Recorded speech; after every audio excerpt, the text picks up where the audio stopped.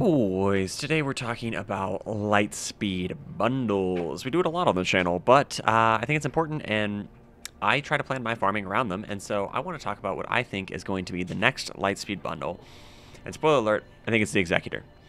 And I'm not just saying that um, without any, I guess I don't have any proof to back it up, but without any reasoning or rationale as to why I think that. So, um, first thing I want to do is take a look at um, this community uh, update that we got last week and also say CG, please, for the love of all that is good, add a dark mode to the forums because my eyes are blinded right now and I have my monitor on minimum brightness.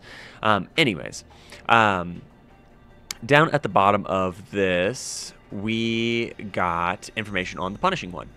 Um, we were told that Dengar's Punishing One is coming to Galaxy of Heroes, and I think that this means an Executor Lightspeed bundle is coming. And I could see the argument that this means it's not coming, but the reason I think that it is coming is because um, if you look at my roster, and I think I'm a pretty good example of this, I have some of my executor requirements done. Um, I am uh, halfway through my relics roughly on Boba and um, Vader. I still need a relic Piet. Uh, I have Bossk done. I still need a relic IG-88, Dengar, and TIE Fighter Pilot. And uh, they're not required but um, for the Executor unlock. But um, I should relic my BAM and I should relic, uh, you should all relic your Cad Bane. Mine's already relic to relic 5. Um, the reason I think it makes so much sense to do this Lightspeed bundle is one, there's duplicate requirements in here from previous Lightspeed bundles. That is good for CG. It makes them money, and we've seen the value of the Lightspeed bundles going down over time. So duplicate requirements mean that they can make more off of it. Um, second, it gives people a reason to go get Punishing One.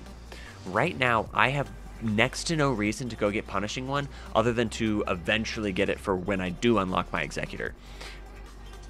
I'm not going to whale on it day one. Anybody who doesn't have Executor isn't going to whale on it day one unless they're, I don't know, special. Um, but nobody's going to whale on it unless they have Executor. If you give more people Executor or offered for people to pay to get Executor, then it gives them more of a reason to whale on the punishing one. So I literally think that when you think about it that way, CG is gaining basically double dipping there. If they can dip once and get you to pay for an executor lightspeed bundle and then dip again in order to get you to pay for the punishing one then they're able to make more money they are able to end q4 since i think that's roughly when uh, end of the year is roughly when punishing one's going to come out and presumably lightspeed bundle comes a few weeks before or maybe a month before um, they're able to kind of double dip there and show really good end of q4 results which is really important for shareholders and for businesses in general here's the question though if we do get an Executor Lightspeed bundle, who comes in it and what relic level do they give them to us at, right? Because IG-88 Dengar TIE Fighter Pilot Relic 5, that's fine. CG can give that out. But are they going to give Boba at Relic 8? Are they going to give out Piet at Relic 8? I don't think so. I think what will happen is when the Executor Lightspeed bundle comes, it'll give you the ships, and then it'll give you Piet, Boba, Vader, Bossk, IG-88, Dengar, TIE Fighter Pilot, all at Relic 5. And that's what the Lightspeed bundle will be. And it'll likely, if I had to guess, this is really just kind of throwing out a guess out there, be a $50 bundle. I don't think it makes sense to do that for $20. I think it's too good of a deal. Um, I think that obviously, right, they have to do a ratio of if they make it $50 versus they make it $20, are they going to have half the people buy it at 50 because if it is if so if it's exactly half they actually made more money at 50 versus 20 or are they going to have three times the people buy it at 20 and they actually make more money selling at 20 so they have all that information and are able to figure that stuff out especially given the fact they've sold lightspeed bundles for those different price points already but I definitely think that this is the next Lightspeed bundle, or at least the next major Lightspeed bundle coming.